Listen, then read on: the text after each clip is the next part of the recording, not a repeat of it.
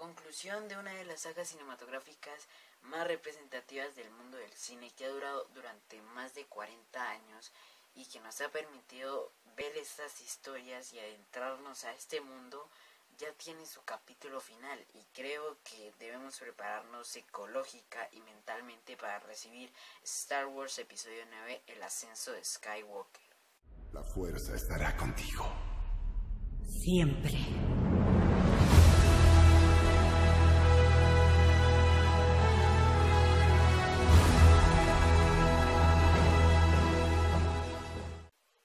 Hola a todos, yo soy Juan Pablo y con la llegada de Star Wars Episodio 9, el ascenso de Skywalker, les traigo mis teorías de esta película. Amigos, todo comenzó en 1977 cuando George Lucas se le ocurrió hacer una película de una aventura intergaláctica que nos trajo un granjero, un contrabandista, un, por decirlo así, un alienígena peludo y un viejo con un sable de luz. Adicional a eso nos trajo una luna metálica que destruía planetas y nos trajo muchas naves, además de peleas con espadas de con espadas sable. Luego se le ocurrió hacer esto mismo, pero tres años después, en otra película donde nos trajo planetas nevados, ciudades en las nubes y una de las revelaciones más grandes de toda esta franquicia.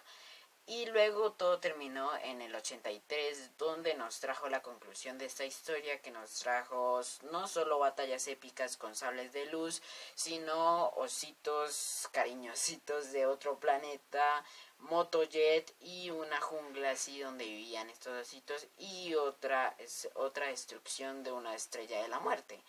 Luego en 1999 a George Lucas se le ocurrió que para reforzar los cimientos de esta franquicia nos trajo una historia diferente que se iba a titular Episodio 1 La amenaza fantasma, donde nos trajo un hombre con marcas negras y piel roja, nos trajo a Raza el Ghul de una manera eh, heroica y nos trajo a un joven Obi-Wan Kenobi y al a un mini Skywalker que pronto se convertiría en Darth Vader. Luego, no, 2000, 2001 y 2000, luego tres años después nos, nos trajo la segunda película, El ataque de los clones, y esta película como que se nos hizo larga pero muy aburrida porque nos trajo bastante romance de Anakin con Padme, nos trajo batallas intergalácticas y por decirlo así, guerra que estuvo buena y bien manejada y nos trajo rayitos Sith que habíamos visto por primera vez en un viejo. Y luego todo terminó con esta trilogía en 2005 que, bueno, nos trajo la creación del mismísimo Darth Vader, nos trajo el nacimiento de Luke y Leia y nos trajo el, el combate con sables de luz más épico que se ha visto en la historia de Star Wars, o por lo menos es lo que pienso yo. J.J. Abrams, el director de esta última trilogía, nos trajo en 2015 The Force Awakens, que nos trajo un nuevo villano, nos trajo una nueva un nuevo personaje que pues hasta ahora es el protagonista de esta nueva trilogía y nos trajo varios personajes que ya habíamos visto. Obviamente nos trajo varias cosas icónicas que teníamos durante la franquicia.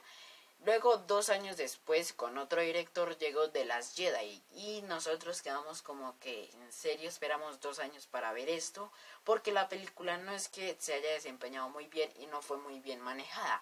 Y hoy, dos años después, estamos con The Rise of Skywalker o El Ascenso de Skywalker, que es la culminación no solo de la tercera trilogía, sino de toda la franquicia y saga cinematográfica de Star Wars. Y aquí les traigo mis teorías y las expectativas que yo tengo, que son más altas que el nivel de midichlorias que tenía Anakin en su sangre. Así que vamos con las teorías. Oigan, para aclarar, yo sé que los ositos estos, yo estaba siendo sarcástico y yo sé que se llaman Ewoks. No es que yo sea un ignorante y que les diga ositos, no, estaba siendo sarcástico. Es solo para aclarar, pero sé que se llaman Ewoks. Primero que todo tengo que compartirles algo, y es que para mí las películas se definen en cinco partes. La primera parte es donde tú ves esas escenas iniciales y donde tú ves todo lo que abarca la película, es decir, la temática de la película. Luego va la segunda parte donde tú ves que se presentan nuevos personajes y digamos la aventura se enriquece más. Luego va la mitad de la película donde tú ves que ya pues va abarcando todo lo que tiene que ver con la peli con la temática de la película. lo que va después de la mitad de la película, es decir, la cuarta parte.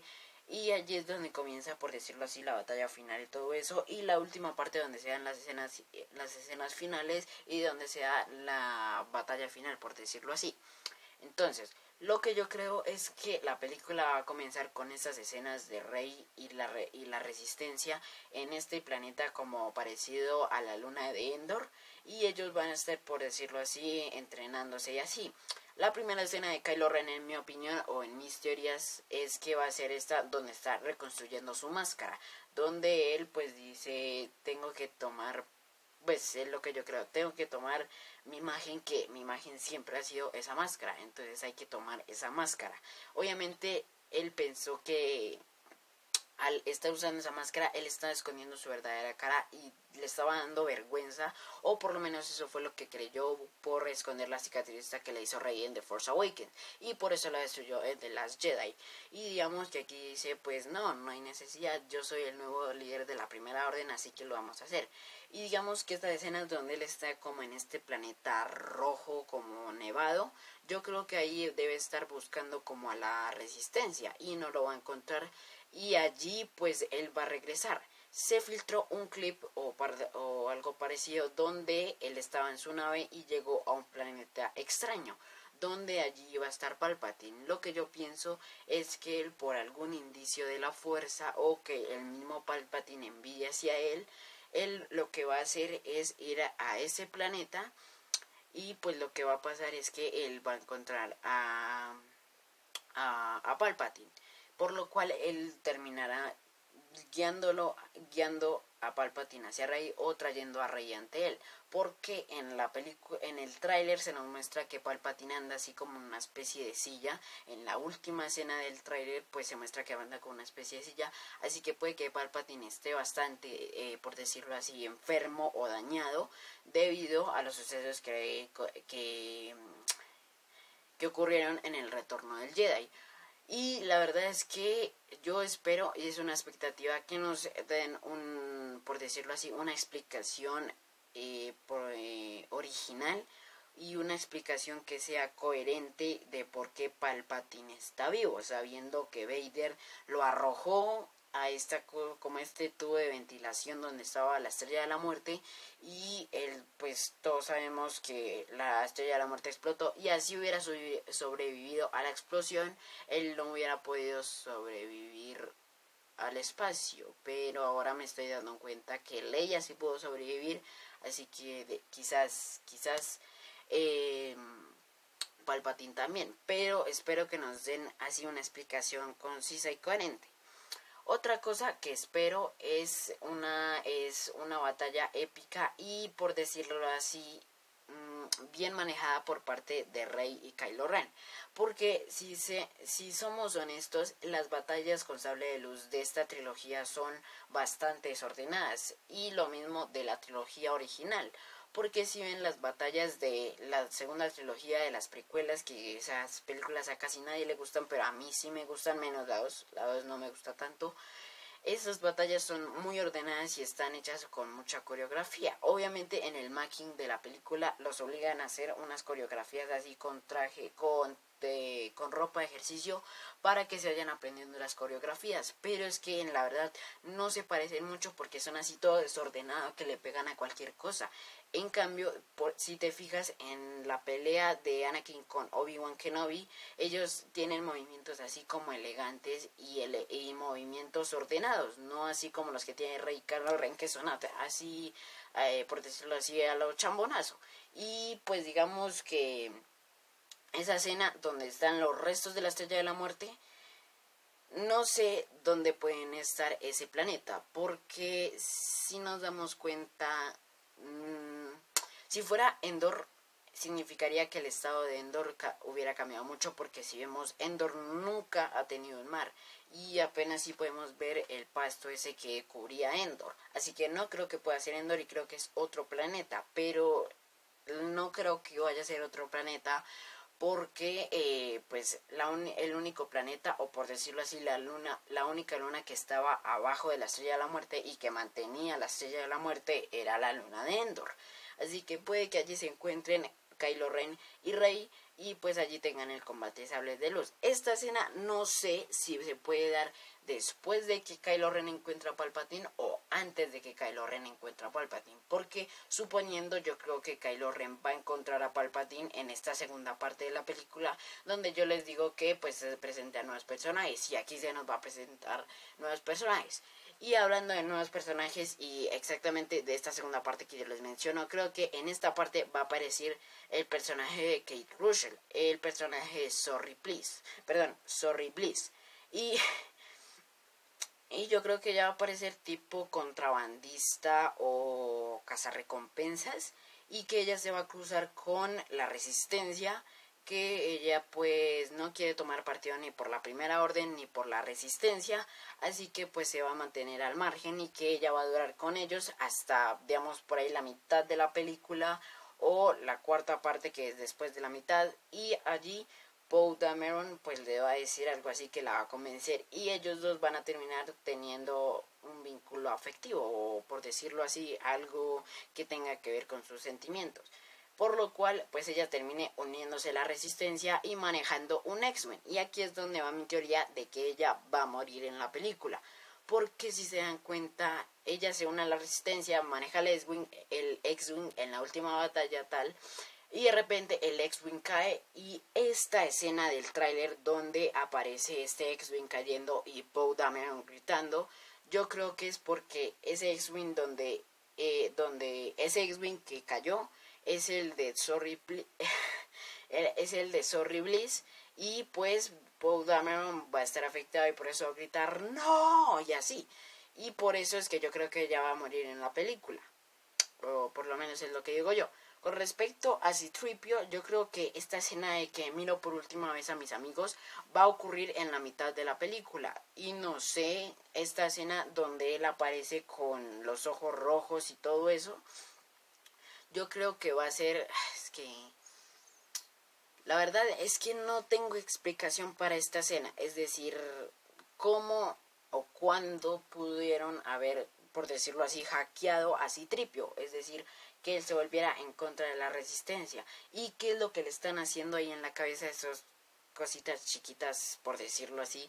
¿Qué es lo que le están haciendo? Porque la verdad es que es algo totalmente raro que de, repente Citripio diga, vino por última vez a mis amigos y luego de repente aparezca con los, con los ojos rojos. La verdad no sé.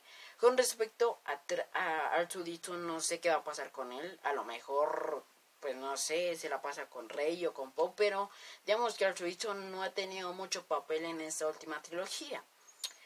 Yo creo que va a aparecer el fantasma de Luke Skywalker y por qué no, por qué no, ya que es una de las teorías, puede aparecer ya que es el final de la, de la saga Skywalker y de la saga Star Wars, pueden aparecer cada uno de los fantasmas de la fuerza, es decir, puede aparecer eh, Obi-Wan Kenobi, puede aparecer Yoda, puede aparecer Anakin Skywalker, hasta Qui-Gon no lo sé, pero digamos todos los que tuvieran que vincularse con este proceso para que todo esto renaciera y para que todo esto tuviera fin, o sea, cada pieza embona en un lugar y es que cada uno de estos personajes tuvo un papel fundamental, tanto Qui-Gon eligiendo a Anakin Skywalker hasta Yoda entre eh, diciendo que ah, diciéndole a Luke Skywalker que tenían que pelear con su propio padre. Es que cada uno tiene un papel fundamental en esta saga.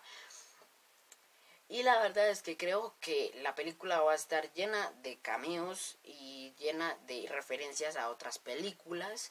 Eh, obviamente la película va a ser nostálgica con respecto al tema de Reylo, que es la unión de Kylo Ren con Rey. No sé si se vaya a dar en la película porque el futuro de Rey yo lo defino en dos opciones. O se queda con Kylo Ren y pues forman el Reylo o ella termina con Finn.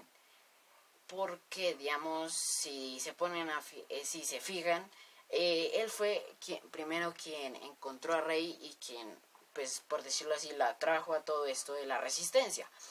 Y digamos eso de que en la escena de, Force Awakens que dice tú me miraste como nadie y todo eso, ese sacrificio, la verdad, no creo que estuviera ahí solo para eso. Creo que al principio estaban pensando en poner a ellos dos juntos, pero creo que por todo este fanatismo que tiene la gente, pues yo no me considero fan de Raylo, pero todo el fanatismo que tuvo esto con el tema de Raylo, pues creo que lo reconsideraron y que ellos dos van a terminar juntos, Kylo Ren y Rey.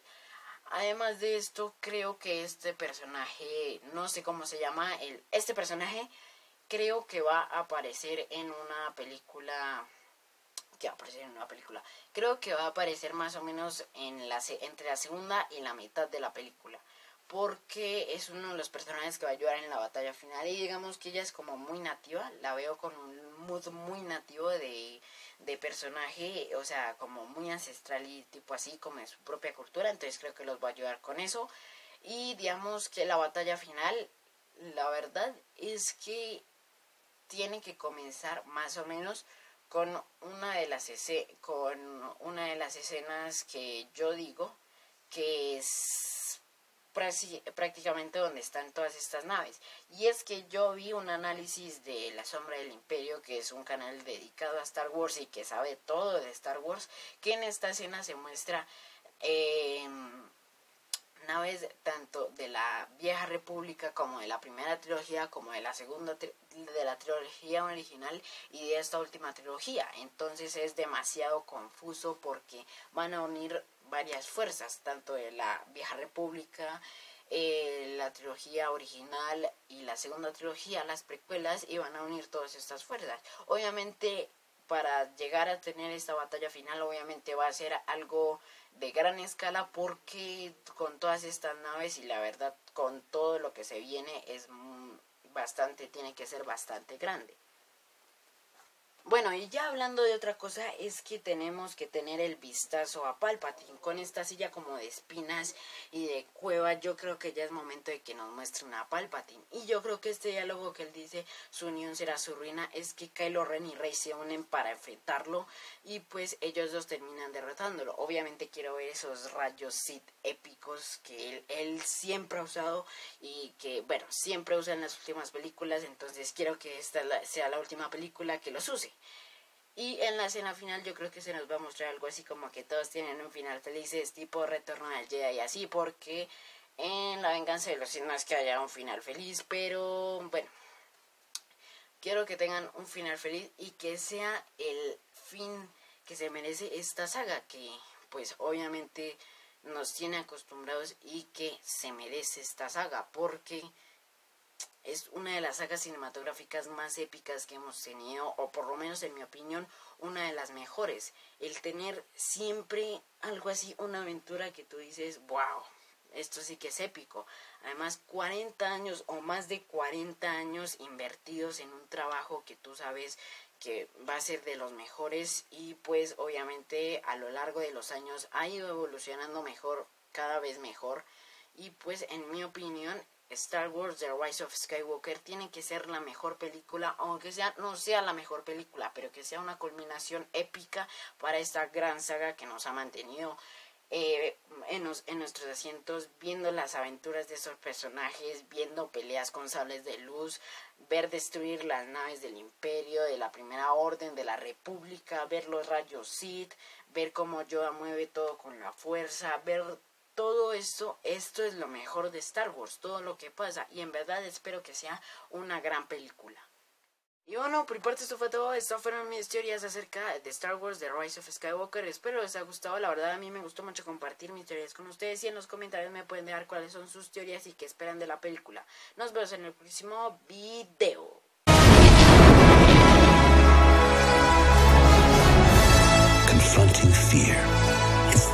Destiny of a Jedi.